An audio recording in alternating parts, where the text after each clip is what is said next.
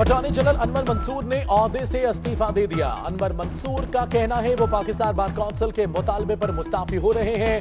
پاکستان بار نے جسٹس فائز عیسیٰ کے بارے میں ریمارکس پر انور منصور سے مستعفی ہونے کا مطالبہ کیا تھا۔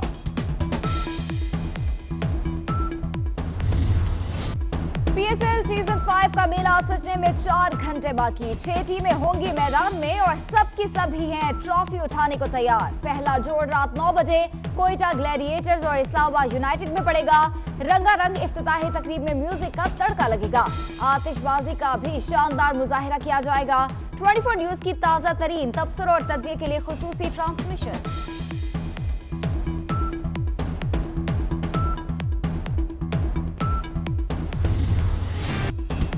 پی ایس ایل سے پہلے کوئٹہ گلیڈیٹرز کو بڑا دھچکا، پاکستان کرکٹ بورڈ نے عمر اکمل کو فوری طور پر معطل کر دیا۔ تحقیقات مکمل ہونے تک عمر اکمل کرکٹ سرگرمیوں میں حصہ نہیں لے سکیں گے۔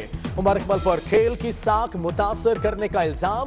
کاروائی اینٹی کرپشن کوڈ کی دفعہ چار اشاریہ، سات اشاریہ ایک کے تحت عمل میں لائی گئی۔ ترجمان کوئٹہ گلیڈیٹرز کا تحقیقات مکمل ہونے تک کوئی رد عمل دینے سے انکار۔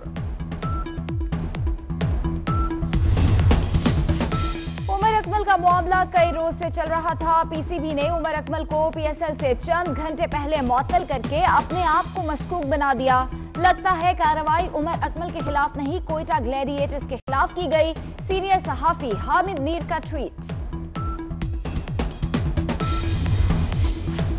عمر اکمل نے رات گئے، بغیر اجازت پرائیویٹ پارٹی میں شرکت کی، مشکوک لوگوں سے ملاقاتیں بھی کی عمر اکمل نے پارٹی میں غل غپاڑا کیا۔ سیکیورٹی کے لوگوں سے بھی بدتمیزی کی گئی۔ ابتدائی تحقیقات میں الزام ثابت ہونے پر معطل کیا گیا۔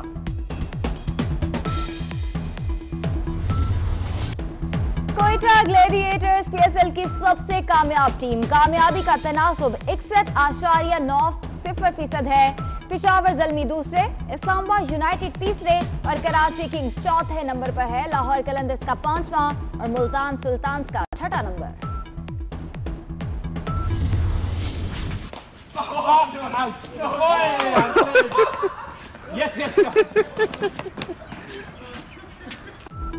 پی ایس ایل کا جنون سر چڑھ کر بولنے لگا پاکستان میں ہالینڈ کے سفیر راؤٹر بلوم بھی پرجوش سفارت خانے میں بلے بازی کے جوہر دکھائے خوب شاٹس ماری اور رنز بھی بنائے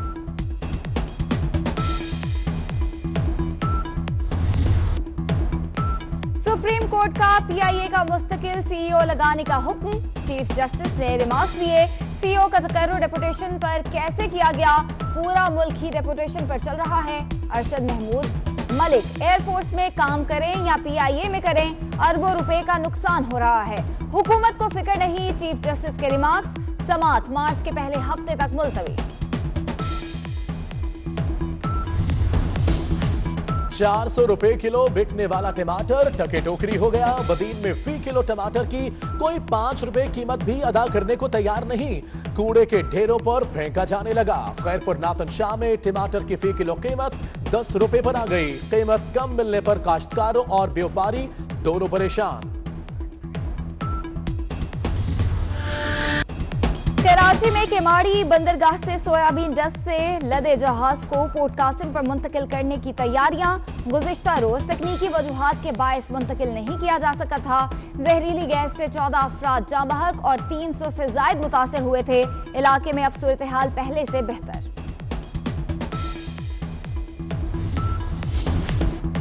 ڈیڑھ ماہ بعد بھی چیئرمین ایف بی آر کا تقرر نہ ہو سکا۔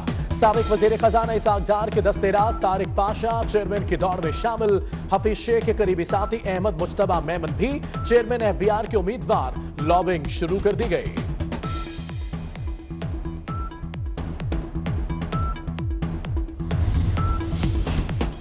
سابق وزیر خزانہ اسحاق ڈار نے معاشی بدحالی کا ذمہ دار حکومتی پالیسیز کو قرار دے دیا۔ کہتے ہیں روپے کی ڈی ویلیویشن سے بیرونی قرضوں میں چار ہزار ارب کا اضافہ ہوا۔ پشاور بی آر کی لاگت بھی اڑتیس ارب روپے بڑھ گئی، جبکہ نون لیگ کے ترجمان مریم اورنگزیب کا کہنا ہے، خان صاحب، آپ اپنی نااہلی کا بوجھ میڈیا پر نہیں ڈال سکتے۔ حکومت کا ادارہ شماریات آپ کے اٹھارہ ماہ نالائکی کی داستان سنا رہا ہے۔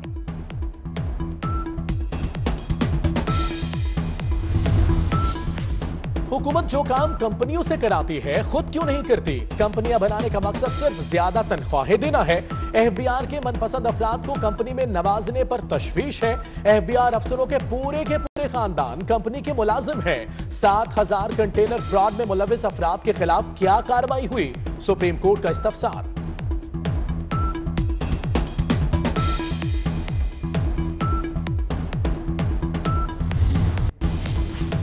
کوئٹہ میں اپوزیشن اور حکومت میں مذاکرات ناکام ہو گئے۔ اپوزیشن رہنما کا وزیر اعلی ہاؤس کی طرف مارچ۔ امن و امان کی بگڑتی صورتحال حلقوں میں مداخلت اور مہنگائی کے خلاف احتجاج۔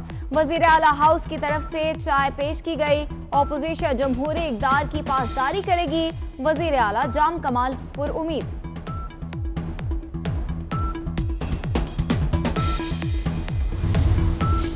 وفاقی سیکرٹریٹ ملازمین کی تنخواہوں میں اضافے کے لیے ایک گھنٹے کی علامتی ہڑتال کا سلسلہ جاری۔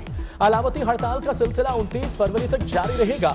تنخواہوں میں ڈیڑھ سو فیصد اضافہ نہ کیا گیا تو دو مارچ سے مکمل ہڑتال ہوگی، ملازمین کی دھمکی۔ لاہور میں بھی پولیو کے دو کیس سامنے آ گئے۔ راوی ٹاؤن کے ساڑھے چار سال کی میشا کو علاج کے لیے کراچی لے جایا گیا۔ جہاں بڑھ نہ ہو سکی، لاہور ہی میں رہنے والی اوکاڑا کی چودہ سالہ ایمان میں بھی پولیو وائرس کی تصدیق۔ قذافی اسٹیڈیم کے اطراف ریسٹورانٹس کے گیس کنیکشن منقطع، سوئی نادرن حکام نے سروس لائن کو کیپ کر دیا۔ کنیکشن پی ایس ایل کے خاتمے تک منقطع رہیں گے۔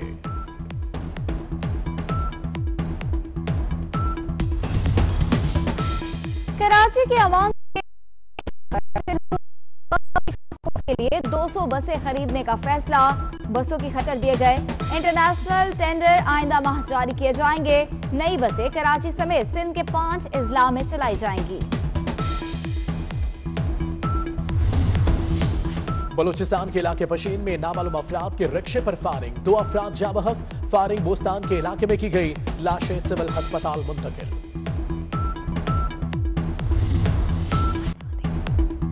بادل پھر لوٹ آئے۔ پنجاب اور بلائی خیبر پختونخوا میں کہیں تیز، کہیں ہلکی بارش۔ لاہور میں رات گئے بوندا باندی ایبڈ آباد اورگزئی اور دیگر علاقوں میں برفباری محکمہ موسمیات کا کہنا ہے کہ اگلے دو روز بارش کا امکان ہے۔ بالا علاقوں میں برفباری بھی متوقع ہے۔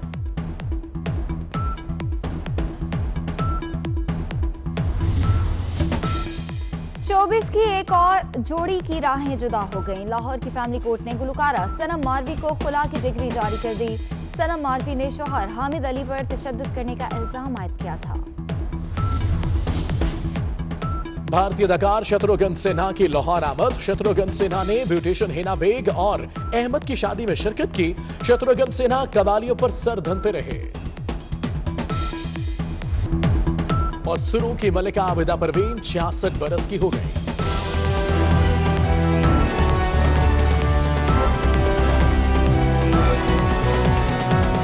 آر سی پیک کا ایک معاہدہ ہے اور یہ ہم کورٹ میں گزارش کرنا چاہتے ہیں کہ یہ ٹو بلین ڈالر جو ہیں، یہ چین کے ملنے سے ہی کام صحیح طور پر شروع ہوگا اور جو ٹائم کورٹ دے گی، اس میں ہم اسے جو دیا ہے، اس میں بھی مکمل کریں گے۔ ایک ہم نے برج فنانسنگ کا فیصلہ کیا ہے، بیس بلین کا۔ آپس میں سندھ گورنمنٹ کیونکہ سندھ گورنمنٹ کا جو لوکل شیئر ہے، وہ بھی اس میں پینتیس فیصد اور چالیس فیصد اس کے سی آر میں ہے۔ شاہ صاحب نے کہا، وہ تو پینتیس بلین اس میں کے یو ٹی سی میں ڈالنے کے لیے تیار ہیں۔ دس بلین سندھ گورنمنٹ اور دس بلین مرکز کی طرف سے ڈالا جائے۔ باقی یہ جو خبریں آ رہی ہیں کہ سندھ گورنمنٹ اور ہمارا کوئی اختلاف نہیں ہے جی ہم ایک لائن اور لینتھ پہ ہیں۔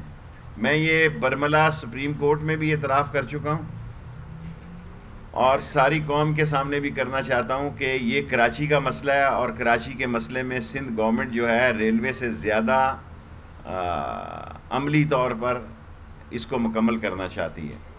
ہم ان کے ساتھ کھڑے ہیں اور ہم ان کے تمام کے سی آر کے مسئلوں میں ان کے ساتھ کھڑے ہیں اور تھرڈلی جو ہے ایک ہم نے کمیٹی بنانے کا فیصلہ کیا ہے۔ ففتھ پوائنٹ پانچ پوائنٹس پر ہمارا اتفاق ہوا ہے کہ ریل مرکز کی طرف سے ایک اکیس گریڈ کے افسر ہوں گے اور صوبے کی طرف سے انیس، بیس اور دو تین افسر ہوں گے۔ اور ہمارا ایک ہی سٹینڈ ہوگا، خواہ یہ سپریم کورٹ ہو۔ اور انشاءاللہ تھوڑے ہی دنوں میں چائنیز امبیسڈر بھی کراچی تشریف لائیں گے اور ہم مل کے ایک پریس کانفرنس بھی کریں گے۔ آپ کو بھی دعوت دیں گے اس میں، حلیم کی دعوت دیں گے آپ کو۔ اور جس میں ہم یہ طے کرنے جانا عرصہ لے گا اور سی پیک جو ہے، کتنے عرصے میں مکمل ہوگا، یہ وہ ساری ریلوے کی صورت حال ہے۔ آپ کوئی سیاسی بات کرنا چاہتے ہیں تو آپ کر سکتے ہیں، یا ریلوے کی بھی۔ جی۔